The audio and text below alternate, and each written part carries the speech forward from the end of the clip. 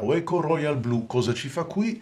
È l'inchiostro con il quale andremo a fare la comparativa tra i pennini flessibili vintage e quelli moderni del video di oggi. Ho scelto due penne, um, due penne molto diverse l'una dall'altra, ma entrambe caratterizzate dal pennino flessibile. Una Columbus, una Columbus 55, molto bella nella sua livrea verde, a me piace molto questa, questa penna, eh, anche se non è tra le mie preferite come, ehm, come flessibilità, perché il tratto è un tratto che nasce di partenza come un fine medio e quindi eh, è già, eh, secondo i miei parametri, ben lontano dall'extra fine.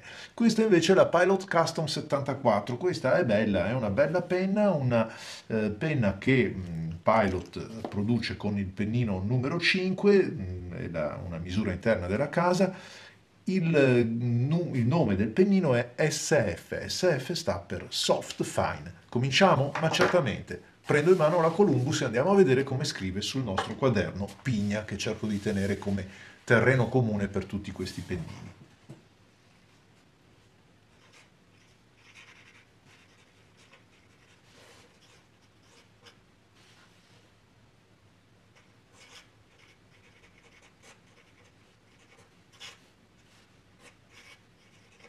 Come vedete, è una... oh scusate, ero appena fuori, come vedete è una bella penna, ehm, un, anche un bel pennino perché comunque eh, tutta la variazione di tratto c'è e si percepisce molto bene, ma eh, per i gusti di chi vi scrive manca quel tratto di partenza così sottile che insomma molto spesso me la eh, fa lasciare nel cassetto. Però c'è da dire anche il rovescio della medaglia.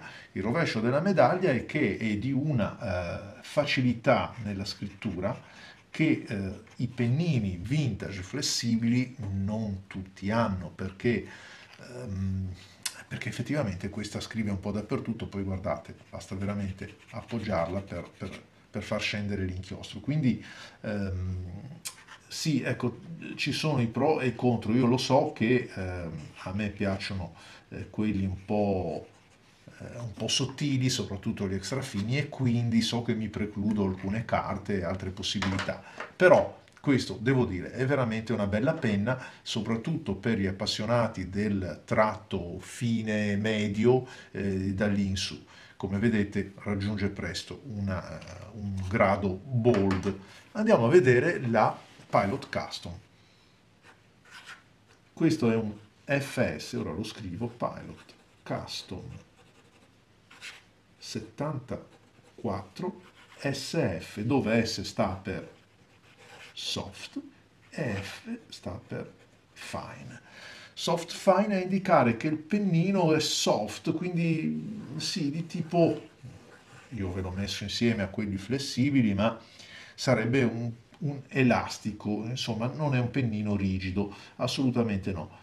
Beh, a me piace molto questa penna e sapete quante volte eh, vi ho detto quanto sia una valida scelta, soprattutto questa che è una di quelle che mi sono comprato nuove, che quindi ho rodato io e le ho insegnato a fare, ecco, come vedete, delle variazioni di tratto abbastanza marcate. Gli ho insegnato lo dico scherzosamente, però non è tutto frutto di eh, uno scherzo, ehm, nel senso che questo pennino ha preso solo la mia mano, solo la mia modalità di scrittura e quindi eh, mi asseconda molto di più di penne che sono state usate per anni, soprattutto quelle eh, si intende antiche, da una mano o più mani diversa dalla mia. Difficile tracciare un paragone fra queste due penne, sapete, perché um, il, il, vintage in questo caso ancora una volta risulta superiore. Perché? Perché la facilità con la quale il, il pennino eh, si appoggia sulla carta e come vedete fa una variazione di tratto, eh, beh insomma mm, questo pennino che comunque non dichiara di essere flessibile, quello della, della Custom 74, vi dicevo questo pennino non ce l'ha perché vedete è un tratto che se non applico pressione è un tratto rigido, non c'è, via di mezzo un tratto rigido. La variazione la faccio nel momento in cui vado ad applicare allora sì un po' di, di pressione, scusate, e allora ecco che mi diventa una, un pennino semiflessibile, un pennino elastico, chiamiamolo come, come vogliamo, però eh, ancora una volta il vintage si trova in vantaggio nonostante una bellissima penna stilografica come è la Custom 74.